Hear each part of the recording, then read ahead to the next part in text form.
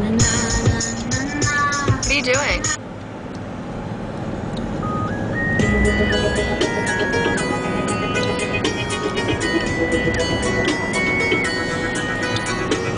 Let's go back, back to the beginning, back to when the